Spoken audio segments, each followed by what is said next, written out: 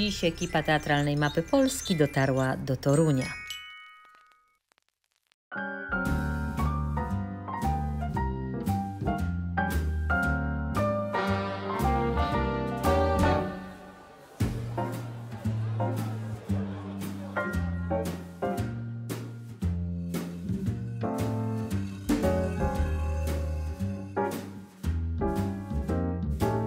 Ekipa teatralnej Mapy Polski nie mogła ominąć teatru imienia Williama Chorzycy. Budynek teatru w Toruniu powstał w 1904 roku i przez 16 lat był wyłącznie sceną niemiecką. W 1920 roku teatr przejął zawodowy zespół polski. Otwarcie Państwowego Teatru Narodowego w Toruniu nastąpiło 28 listopada 1920 roku. W obecności premiera Wincentego Witosa odbył się pierwszy spektakl Zemsta Aleksandra Fredry w reżyserii Franciszka Frączkowskiego. W okresie okupacji w toruńskim gmachu teatralnym działała niemiecka opera i operetka. Polski Teatr ponownie rozpoczął pracę w czerwcu 1945 roku. W roku 1983 powstała funkcjonująca do dziś scena propozycji, w ramach której aktorzy zgłaszali i realizowali własne propozycje sceniczne, które następnie mogły wejść do repertuaru. W 1995 roku, po wielu latach budowy, oddano do użytku nowy budynek zaplecza z małą sceną. Budynek naszego teatru e, liczy sobie 118 lat. Został zaprojektowany przez e, bardzo poważane w tamtym czasie w Europie biuro architektów Ferdynanda Fellnera i Hermana Helmera. Zaprojektowali oni w sumie 48 teatrów i sal koncertowych w 39 miastach Europy. Budowa ruszyła w lipcu 1903 roku i już po czterech miesiącach budynek był w stanie surowym, a jeszcze 10 miesięcy później, czyli we wrześniu 1904 roku e, gmach został otwarty, już był w pełni wyposażony. Zagrano wtedy pierwszy spektakl.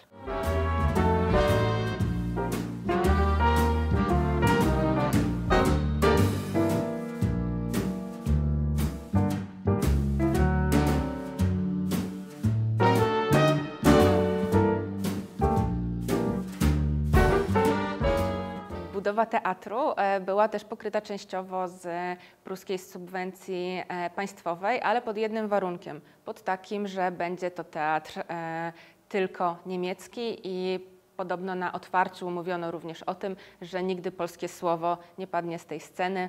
Cóż, 16 lat później już te słowa były nieaktualne. Co ciekawe, widownia została zaprojektowana na 800 widzów. Dzisiaj e, mieści się na niej około 400 foteli.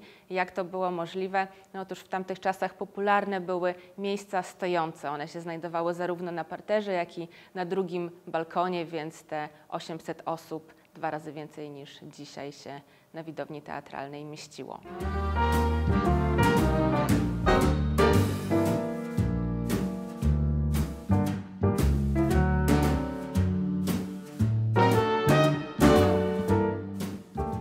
Teatr został zaprojektowany w stylu eklektycznym z elementami neobarokowymi i dominantą secesji. Na froncie teatru e, było sporo takich florystycznych zdobień, a nad głównym wejściem e, przedłużone kolumny kończyły się pylonami, na których postawiono rzeźby orłów. Niestety te dekoracje nie przetrwały do dzisiejszych czasów, ponieważ Niemcy w czasie II wojny światowej przeprowadzili bardzo duży remont teatru. No i secesja jako styl mieszczański nie pasował po prostu do architektury III Rzeszy, która jednak bazowała na prostocie, na monumentalizmie.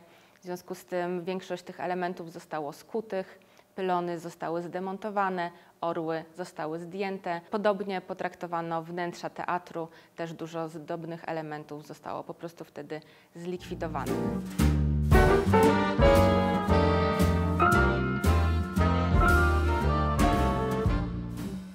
Przed budynkiem stoją również dwie rzeźby mus, zaprojektowane przez berlińskiego rzeźbiarza Ersta Hertera.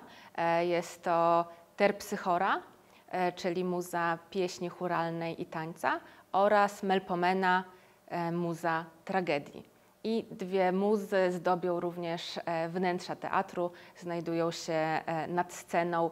Tym razem jest to Terpsychora i Polichymia. Są to takie płaskorzeźby, które właśnie przetrwały z tamtych czasów, e, początków budowy naszego teatru. Na sklepieniu znajdował się witraż z różnymi zdobieniami w kształcie masek czy pelikanów, ale on właśnie również w latach 40. został zdemontowany i zawieszono tam e, piękny kulisty żerandol, w którym mieści się ponad 170 żarówek. Oprócz parterowej widowni znajduje się jeszcze pierwszy i drugi balkon. Ten pierwszy balkon pierwotnie e, stanowił jeden ciąg, nie było tam lóż, był taki bardzo egalitarny, e, ale znowuż e, Niemcy w latach 40. podzielili te części na loże i utworzyli również lożę honorową. No, mieli nadzieję, że przywódca III Rzeszy kiedyś tam zasiądzie, ale nigdy nie dotarł do Torunia, a dzisiaj w loży reprezentacyjnej może zasiąść każdy widz.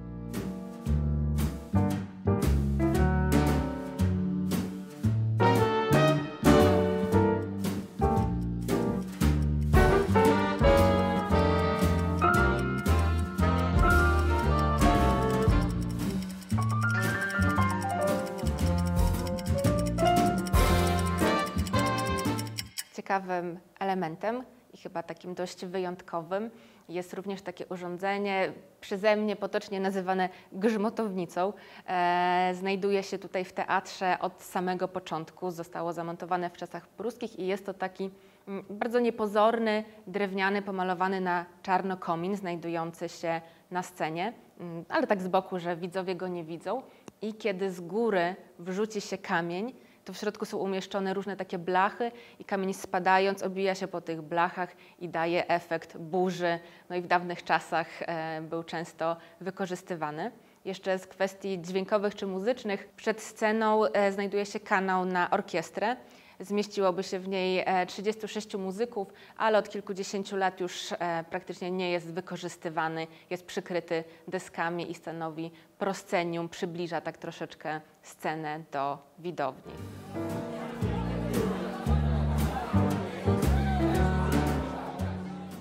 Jeden lat temu e, została tutaj zainaugurowana scena polska. 18 stycznia 1920 roku wojsko polskie wkroczyło tutaj do Torunia i wyzwoliło miasto, a jesienią już odbył się pierwszy spektakl. Pierwszym dyrektorem był Franciszek Frączkowski, miał nominację Witosa i e, jako pierwsze przedstawienie zaproponował zemstę za mur graniczny Aleksandra Fredry. Co ciekawe, e, dyrektor sam w nim zagrał, zagrał e, Papkina. Franciszek Frączkowski tylko przez rok e, zawiadywał tutaj polską sceną w Toruniu, a kolejnym dyrektorem został Mieczysław Szpakiewicz. Był to młody, bardzo energiczny dyrektor, miał ogromne ambicje i co ciekawe, udało mu się sprawić, by odbyły się tutaj w Toruniu dwie prapremiery utworów Witkacego. Najpierw w Małym Dworku, a potem prapremiera Wariata i Zakonnicy, ale ze względu na miejskie koła klerykalne zmieniono tytuł na Wariat i Pielęgniarka. No ale Witkace był zdecydowanie zbyt dużym eksperymentatorem dla e, toruńskiej publiczności. Te spektakle się niestety nie podobały i przechodziły bez echa. Co ciekawe, w 1921 roku była tutaj też inscenizacja Wesela Wyspiańskiego, czyli dzieła, które już przez pewien czas e, funkcjonowało i też toruńskiej publiczności się nie spodobało. W tamtych czasach postać chochoła czy rozmowy z widmami e, wydawały się po prostu troszkę szokujące.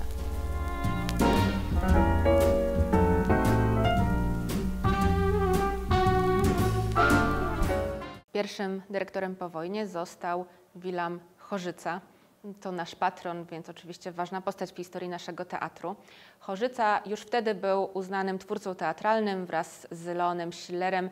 E, współtworzył w Polsce teatr monumentalny, czyli teatr zasadzający się też na pewnej widowiskowości, czerpiący z e, idei stworzonych przez Adama Mickiewicza. To były bardzo trudne lata funkcjonowania teatru ponieważ teatr nie miał wtedy magazynów, nie było stolarni czy kostiumerni i wyglądało to w ten sposób, że w dzień próby odbywały się na scenie, a nocą w tym czasie tworzono scenografię czy malowano różne elementy. Wilam Chorzyca miał bardzo ambitny program i wystawiał sztuki Szekspira, Anny Świerszczyńskiej czy Norwida, ale żeby realizować te spektakle, te premiery, musiał też pozyskiwać na nie pieniądze z repertuaru troszeczkę bardziej popularnego, e, za czym raczej nie przepadał, o czym świadczy pewna taka anegdota, aby właśnie e, zrealizować premierę dzieła Norwida.